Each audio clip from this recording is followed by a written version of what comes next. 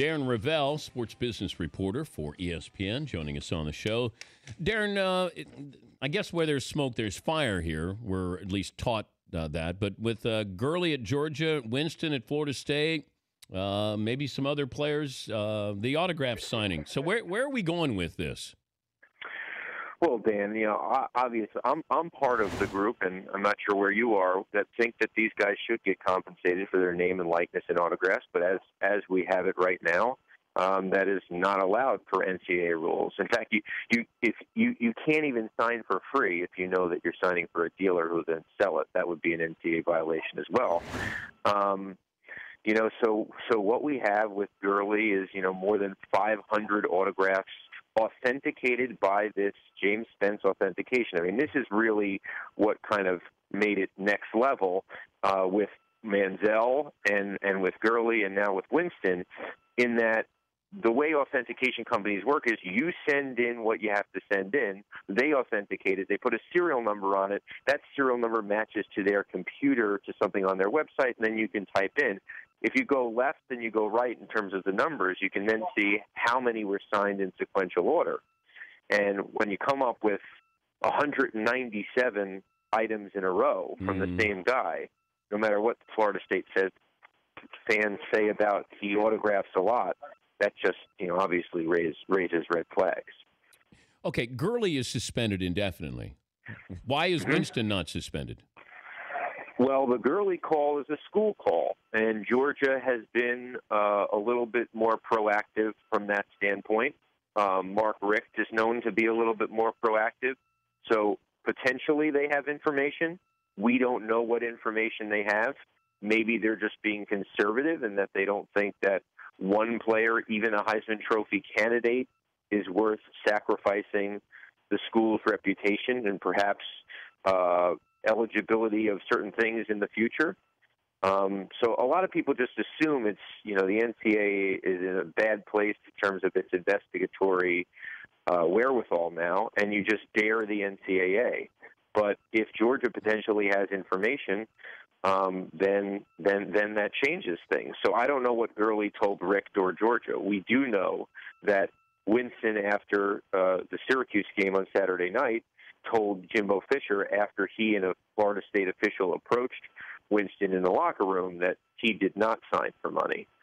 Now, if they believe him, what the the, the main question is because I know people are saying, well, is he could he be ineligible or could Florida State pull him? The main question is, at some point, is it out of Jimbo Fisher's control? At some point, is someone at Florida State going to say, you know, this is it, it, it's not about one thing; it's about this happening again and again and again? And is it worth our institution being looped in with all of this, or should we just wash our hands of it, even though it might mean a loss here or there? Well, you've already rolled the dice. They're they're rolling the dice on Jameis Winston right now. So right, right. You know, it's it's all or nothing. Yeah. And I and I and I and I would also say that there's a way to do all or nothing and not publicly be all or nothing. Uh, Jimbo Fisher's comments yesterday were were, were, were, pretty amazing. I mean, you could you could say we're waiting for the disciplinary yes, hearing. I agree. I couldn't believe how how the phrase "if there isn't a crime, there isn't a victim" yeah. comes out of your mouth in the environment that we live in today. Just makes absolutely no sense. And what it shows is that Jimbo Fisher thinks he is the boss. Now, as we know, Roger Goodell thought he was the boss potentially, there's always someone above you. And and the question then becomes at what point if Jimbo Fisher continues to get angry at the process, mm-hmm. at what point does someone consider taking him out of the process or at least saying to him, you know, you, you, you, you can't say these things. He's Darren Rovell, ESPN sports business reporter, joining us, Dan Patrick Show. Yeah, I agree with you. You can't have a blanket statement. All you have to do is say it's an ongoing process. I'm trying to get ready for Notre Dame. When you come out, you have this – uh, declarative statement here, it just backs you into a corner. Are there other players involved in this autograph uh, controversy here? Well, yeah, I, I, Florida State fans especially are pointing to other names and taking going into this James Spence authentication database and saying, "Hey, I found 30 in a row of Marcus Mariota or 20 in a row of of Bryce Petty." Um, I can tell you that, you know, as far as Manziel, Gurley, and and Winston, they're in a class by themselves. No, you know, in in the Winston signing, there, there's 235 signed numbers in sequential order, which means they're submitted at the same time. Is the guy who Um, runs this memorabilia site? Is he talking?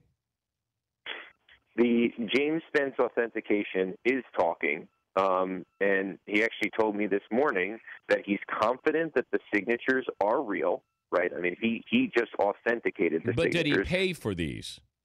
No, this guy's just the authenticator. He's not the dealer. Someone sent him these Is to the authenticate dealer that is, they're real. Darren is the dealer talking? The guy No. that says I No. paid money. No, the deal the dealer is not talking. The dealer is not talking. And in these cases, listen, I got I got some dealers off the record. I could never bring them on the record for Manziel. We we we know we had five witnesses over time that Manziel signed over 4400 autographs.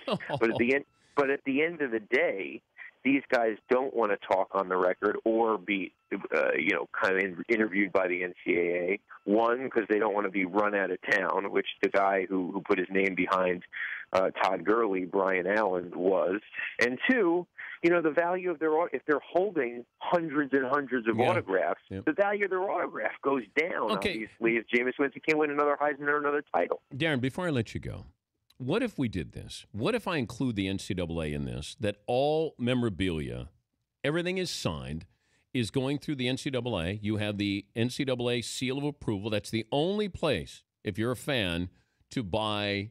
And, and so I can then share in the profits with these kids. Instead, I, I, I don't want somebody to benefit off their likeness. I think it's dangerous if they benefit off their likeness because then there's going to be gray area, money under the table, boosters involved. It, it's just not a road we want to go down. But if Yeah, I, I, it's, the solutions, Dan, are very difficult. I, I, I, I- think that the advantages that are already there are there. Hey, a kid's going to say you come to Alabama, yes, uh, uh, so, and, and come to Alabama, and, and, and your autograph will be worth more, and there's more built-in fans, and, and or a booster will say, I'll, Boone Pickens will say, I'll buy ten thousand. Yep. You know, Yep. Um, so, so, so Wait, I don't know Did, what. did you have to solution is. have a kind of a southern accent there with T. Boone Pickens, or I thought you'd like that. oh, okay, thank you. Thank Did you not? No, no extra charge for that. No, no, no, no, not at all. That was I like billion, to throw it up, billionaire, mix it up a little bit. billionaire country is what that was. Hey, Darren, it's uh, good to have you on. All right, you got it, man. Thanks, Dan. keep me up to date. Darren Rovell, sports business reporter, of the Mothership.